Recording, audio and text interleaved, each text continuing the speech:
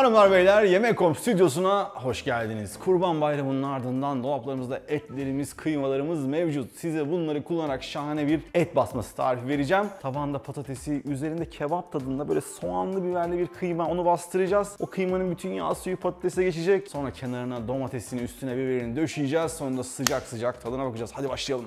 İşe önce et basmanın tabanındaki patatesleri hazırlayarak başlıyoruz. Patateslerimi orta boy güzelce soydum, suda bekliyorlar. Halka halka doğrayacağız ama ne çok ince olsun ne de çok kalın olsun ve hepsi birbirine benzer olsun.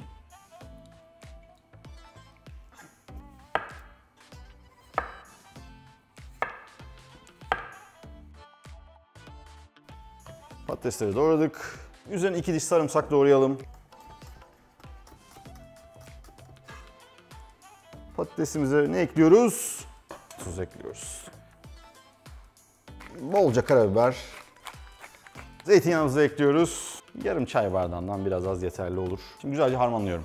Tüm tuz, karabiber, sarımsak patateslere değsin. Her patates yağlansın buna özen gösterin. Şimdi patateslerimizi tepsinin tabanına dizeceğiz. Cam bir fırın kabı kullanıyorum. Sizler metal olanlardan da kullanabilirsiniz. Aklınızda bulunsun. Patatesleri yaydık. Tabii ki burada kalmış olan güzel tuzlu, karabiberli, sarımsaklı suyunu da gezdirelim. Hafif burada nişastasına ihtiyacımız var. Yapışabilsinler. Ve artık üzerindeki kıymalı harcımızı hazırlayabilirim. Üstteki kıymalı katman için soğan, biber ve sarımsaklı bir karışım hazırlayacağım. Adeta bir kebap yaparmış gibi hepsini birlikte ufak ufak doğruyoruz.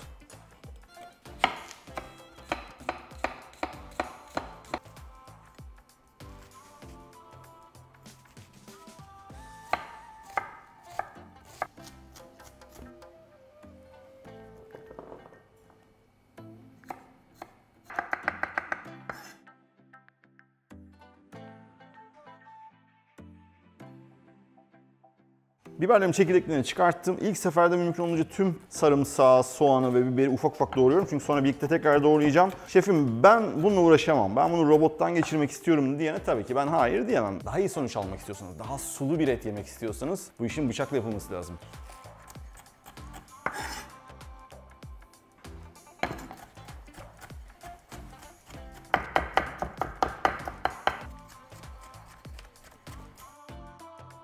Bir tatlı kaşığı dolusu biber salçası var. Muazzam bir lezzet verecek içerisine. Tuzumu da ekliyorum. 2 çay kaşığı, bir tatlı kaşığı gibi ekleyebilirsiniz. Ve karabiber. Başka hiçbir şeyimiz yok. Sonrasında kıyma ile bunları güzelce yoğuracağım. Kıymam gördüğünüz gibi böyle birazcık daha kalın, tek çekim bir kıyma. Çünkü genelde kurban bayramından sonra kasaba gittiğinizde çekilen kıymaları tek sefer çekiyorlar. Ben de özellikle aynı görselde bir kıyma hazırladım sizler için. Tabii ki iki kere çekilmiş kıymayla da bu tarifi yapabilirsiniz. Ben dana kullanıyorum. Sizin evinizde hangi tür kıyma varsa onları da gönül rahatlığıyla kullanabilirsiniz. Koyun, kuzu hiç fark etmez.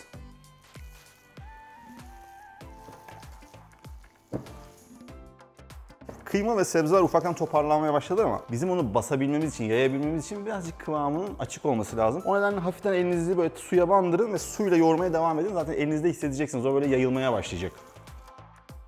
Ama bir anda suyu dökmeyin. Burası önemli. Azar azar her seferinde şöyle avucunuzu ıslatmanız kafi.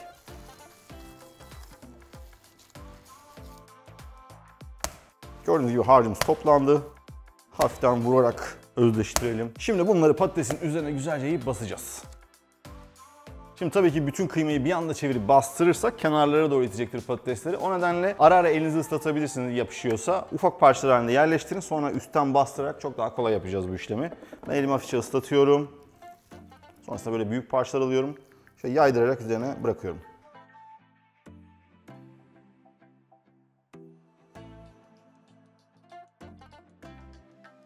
Gördüğünüz gibi yemeğimize adını veren işlem bu. Etimizi ne yapıyoruz şu anda? Bastırıyoruz. Yani et basma dediğimiz olay bu. Patatesleri iyice tabana doğru yapıştırdığınızda emin olun. Şimdi aklınızdaki soru şu. Patatesler pişer mi? Pişer. Ama bir anda böyle yüksek ısılı fırına açık şekilde atarsak kıyma çok çabuk pişeceği için patatesler de suyun içerisinde kalıp hafif böyle çiğ ile pişmiş arasında bir yere giderler. Biz öncesinde üzerine bir yağlı kağıt sereceğiz. 200 derecelik fırında bir yarım saat pişireceğim. Sonrasında üzerine açacağım. Domatesini, biberini yerleştirip biraz böyle daha güzel bir kebap görseli vereceğim. Sonra tekrar fırınlayacağız. Domates, biber de kızarınca işlem tamam.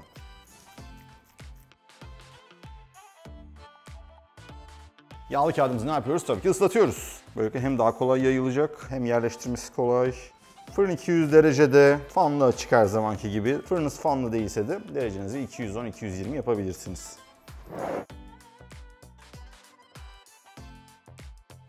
Şimdi artık üzerini açalım. Of.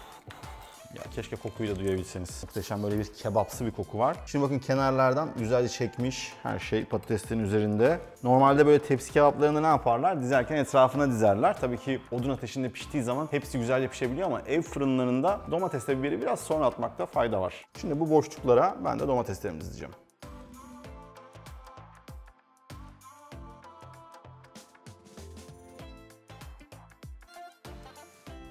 Domateslerle biberleri koyduk. Şimdi sadece domateslere biraz tuz gezdireceğim. Çok fazla değil. Biberlerimizi biraz tuzlayalım. Çok değil. Biraz kızarmasına yardım etsin diye domateslerin sadece kenarlardan biraz zeytinyağı. Çok değil böyle damla damla. Biraz da biberlere. Ve şimdi tekrar fırına.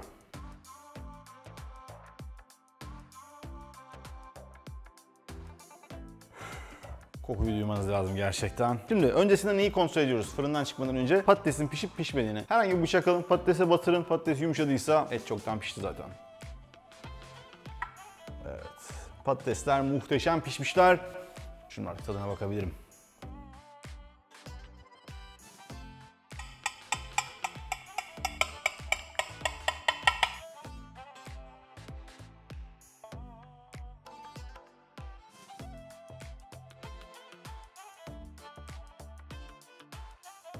Parça biber. Biraz da şöyle domatesli suyundan, şöyle yağlı sudan da gözlerim. Pidem de var. Ve ben bunu yerim. Yanmayalım. Hmm. Hmm. Çok güzel ya. Bir insan daha?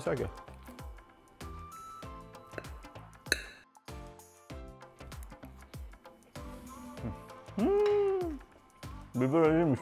Kıymada çok güzel böyle bir satır et, kebap tadı var. Çünkü içerisinde o köfteye dair hiçbir şey yok. Böyle kimyondu, işte ekmekti falan yok. Bayağı et et bir şey yiyorsunuz. O yüzden de adı et basma aslında. O yukarıdan inen bütün kıymanın yağ suyu patateste, kenarlardan koyduğumuz domatesle beraber çok da güzel bir suyu var. Bunun yanına bir salata, bir cacık, biraz pide. Sonunda da karpuzu koydunuz mu sofraya işlem tamam. Bu tarifi mutlaka deneyin. Videoyu beğenmeyi, kanala abone olmayı unutmayın. Bir sonraki bölümde görüşmek üzere. Bay bay. Biz yemeği soğutmayalım. Şimdi böyle bana bana yiyeceğiz.